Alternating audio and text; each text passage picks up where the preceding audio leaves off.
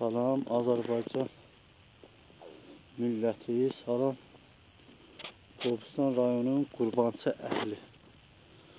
Bu indi çəkdiyimiz ev, bu dağılmış, uçub dağılmış ev. Hal-hazırda çəkilişdə olan bu ev. Kimindir desəm, hamı şoka düşəcək. Ki, doğrudan da bu ev kimindir belə uçmuş, dağılmış, baxımsız, yəsiz.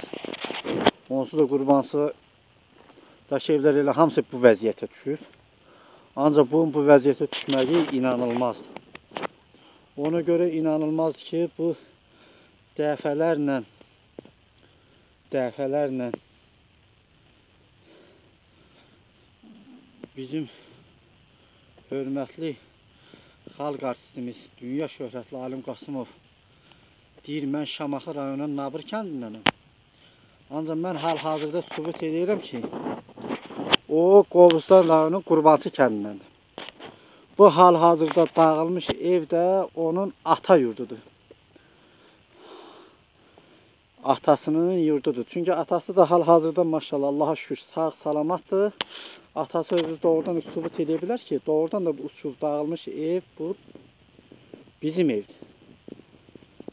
Bu dəfələrlə də demişik, yəqin ki, Allahın köməkliyi ilə bundan sonrasına qismət olsa, Allah qismət eləsə bu çəkilişə baxsa, gəlib burada çünki Alim Qasımov bəlkə də özü bilmir.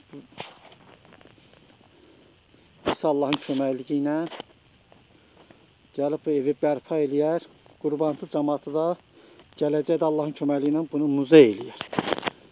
Bəli, bax bu otağın biri çox dağılmış bir. İkinci otağı, bu da kol basmış üçüncü otaq.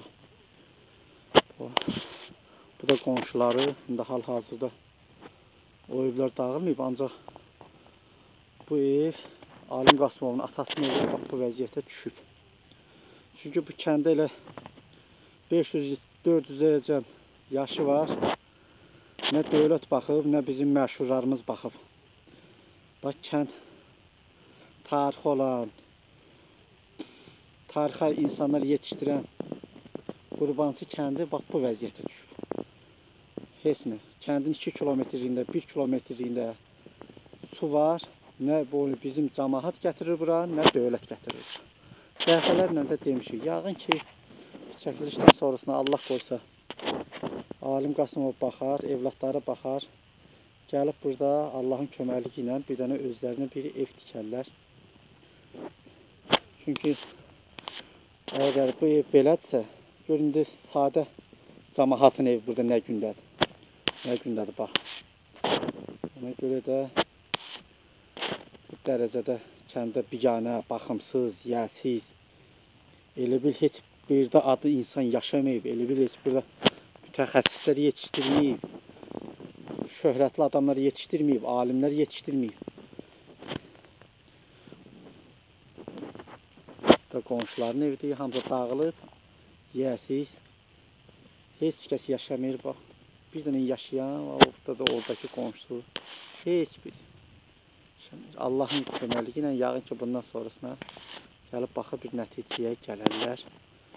Özlərinə bir dənə burada ev tikdirərlər. Biz də qismət olsa Allahın köməkliyi ilə muzey eləyərik. Ya qismət inşallah gözləyirik Allahın köməkliyi ilə. Oldu.